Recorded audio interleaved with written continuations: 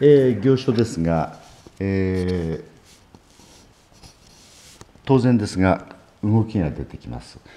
で、えー、線に抑揚を持たすような感じで書きますね。一本の線でも確率的ではなく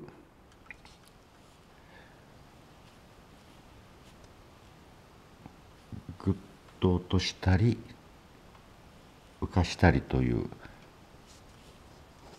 動作が、出てきますね。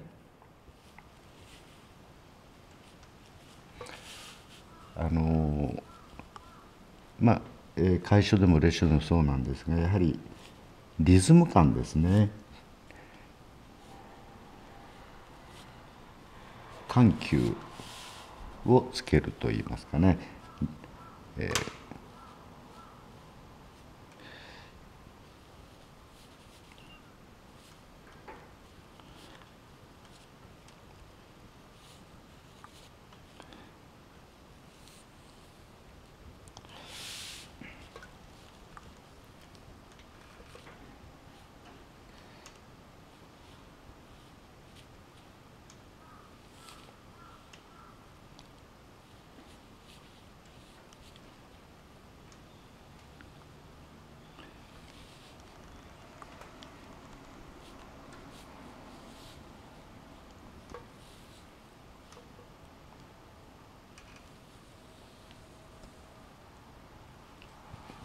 1本の線でも、えー、軽いところと重いところが入って表情が出てきますね。